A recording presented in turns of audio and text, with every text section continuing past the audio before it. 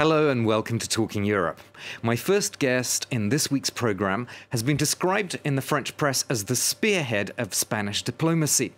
Jose Manuel Albares was Spain's ambassador to France in 2020 and he became the foreign minister of Spain the following year.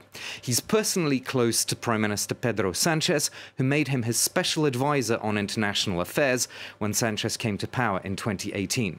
But that power is now waning. In the municipal and regional elections last month, Sanchez's socialists lost ground, and both the right and the far right made gains. As a result, the Prime Minister has called an early general election for July the 23rd, just three weeks after Spain takes over the rotating presidency of the European Union. Foreign Minister, welcome to Talking Europe. Thank you. Let's start a bit with uh, some of the big international news from Ukraine and the blowing of the Kakhovka Dam. Uh, the authorities in Kiev are saying that the world is responding too slowly to the humanitarian situation there. Is the EU responding too slowly, do you think? EU is always trying to respond as quick as possible to all needs whether it's humanitarian, to take care of the refugees, and militarily as well. And of course, Spain, bilaterally, we are preparing a very important package of humanitarian aid, and our voice will be raised in Brussels to make sure that EU does it and EU will respond. Let's talk about the uh, presidency of the EU that uh, you're going to take up in uh, a few weeks. Um, obviously, a national election campaign takes up a lot of time and energy. Is there a risk that the EU presidency will just slide down the list of priorities? Not at all. Not the slightest possibility. There has been presidencies of the EU of all sorts. The last French president was a great success. So three voting two for the presidential election, one for legislative elections, a change of government. There have been presidencies with caretaker governments, changing of government in the middle. That's been all sorts of presidents. We've been working for a year and a half. Myself, mm. I'm the president of the organizing committee, and we have been working for more than a year. Mm. We have set the themes the cities in which there will be the councils, uh, the main summits, the dates everything is ready and it's going to be a great success. In terms of the schedule, I understand, but won't your EU partners actually sit back and wait until they see who is in power in Madrid? Because if it ends up being the PP, the Conservative Party, they don't have exactly the same approach to you on certain things. The minimum wage, for example, they don't have exactly the same European orientation as as the socialists do. I agree with you in the first mm. part, uh, the second part, but not in the first part of what mm. you said. I agree with you in the, in the second part because mm. the choice is not PP; it's a coalition of PP plus the extreme right. And of course, they, there is uh, a big difference with the European agenda on the Green Deal, mm. on equality between men and women in very, very important topics a coalition of right and extreme right would behave very differently.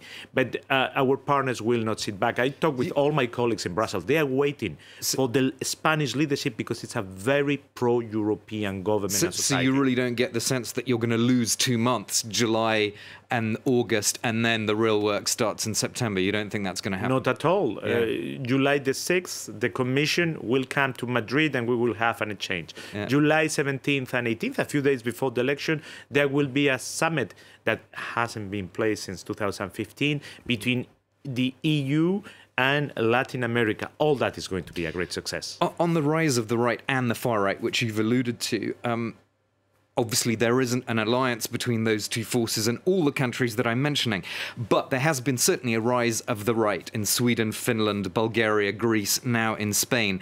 Um, that is there a problem with the left's political offer? There's something that isn't connecting with voters, and you must be concerned about that in the light of the European elections next year. The president has called the election to clarify this because it's very important what will happen in the next elections in Spain, in the European Parliament for Europe. There is a challenge to European values coming from the outside, from the illegal Russian aggression, but also from within our societies. And I want to recall that European values are not only beautiful philosophical ideas, they are also the engine of growth and stability in Europe for many decades. That cannot be changed. And in Spain, in Spain, the party that can stop that is the Socialist Party. Right, but the socialists have to stand for something, not only against the PP and Vox. And when Pedro Sanchez says there's no difference between the two of them, isn't that a kind of project fear? It's trying to scare people instead of the socialists actually saying why people should vote for them rather than against the other two. What the president po- points out is that the, the, the choice, I mean, the alternative to the current government, it's one of a very radical right and extreme right. And that's, that's accurate and that's objective. But we have proposals. The first one, as been this week in the ministerial OECD meeting, in which we have seen the forecast for the Spanish economy, a growth that is double the EU, an inflation among the lowest in the European Union, and all this with a social seal, protecting people, giving public health, public education, all that cannot be stopped. And speaking of protecting people, that's actually a big theme in your upcoming EU presidency. Uh, you want an, an, EU directive on minimum wages, if possible. You want uh, more flexibility in the Stability and Growth Pact so that countries have the fiscal room for more social policies, don't you? We think that the extraordinary times. Require extraordinary measures. That doesn't mean that the measures have to be forever. That doesn't mean weakening uh, the stability pact, but acknowledging the situation. If we compare how Europe got out of the financial crisis and how Europe has done it out of COVID and how we are facing the social and economic consequences of the brutal aggression of Russia to Ukraine, all Europeans prefer the current method than the old one. Because when we are united, when we have solidarity, when we have flexibility for extraordinary times, we get out of the crisis faster, in better shape, and leaving less people behind. You, have been very active on the whole energy question. Uh, Spain has called for more interconnections for electricity. And in your EU presidency, you want to, quote, enrich the European Commission's proposal on reforming the electricity market. Uh, just explain a, a little bit of that for us. I think that everyone can agree that Europe cannot be in the same situation that we found ourselves uh, in February 24th of last year. We cannot be blackmailed by any country in the world with gas or energy. That means reforming our energy market. What that means? Completing interconnection to make sure that we can share our energy mix. Mm. Secondly, pushing renewable energies because the part in the in the energy mix that we have of renewables is the part of energy sovereignty. And maintaining maintaining systems as the ceiling for the gas price that we have for the Iberian Peninsula to make sure that with each country we can go through this crisis. All that is mm. part of that reform. Uh, about the uh, summit between the EU and Latin American and Caribbean countries, which again Spain has highlighted as one of the uh, key points in its upcoming presidency. Um, what are you expecting from that? Because uh, the French president, for example, has put forward quite stringent conditions on some of those countries uh, for any trade rapprochement uh, between uh, the, those countries and the EU. Do, do you agree that strong conditions have to be applied? Europe needs friends and allies in the world, very mm. especially in this uh, international setting what we expect of a summit that the, the last one was in 2015. So it's really important is to bring Latin America forever to the heart of the European agenda. So we need a political signal. And the summit will be mm. 60 leaders around the table, what mm. that means in terms of population and GDP in the world. Secondly, a very important working and investment program from Europe to Latin America. And third, moving forward with the trade agreements with Chile, with Mexico, with Mercosur, because for them, they are not only trade agreement, it's also a signal of engagement, of political engagement in the long term. But if this kind of agreement upsets beef producers in Spain or Ireland, for example, doesn't that lead to more populist politics of the, of the kind that you? Uh, uh, but we have to tell the truth to the people about mm. those uh, agreements. The best way of making sure that Latin America will be within the Paris Agreement is through Mercosur, that Brazil is there.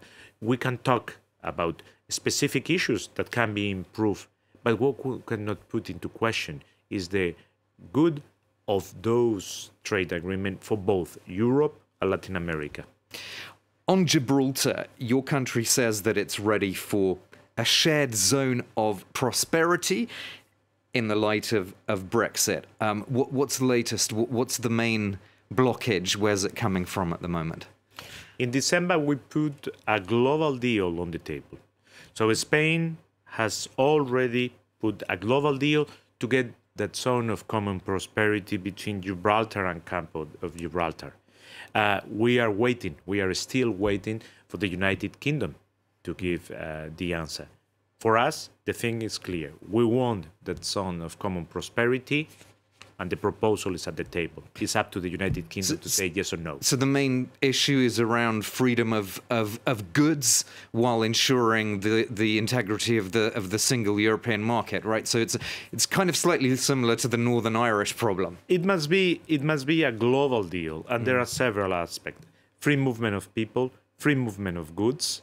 If we really want to uh, Gibraltar to be integrated with with Campo Gibraltar and in European Union, uh, common use of, of the airport and the removal of any physical barrier mm. for that free movement. We'll have to leave it there. Thank you so much for being my guest, Jose Manuel Albares, Foreign Minister of Spain. Do stay with us. I'll be back in part two with another Foreign Minister, Bujar Osmani, who leads the uh, Foreign Ministry of the Republic of North Macedonia.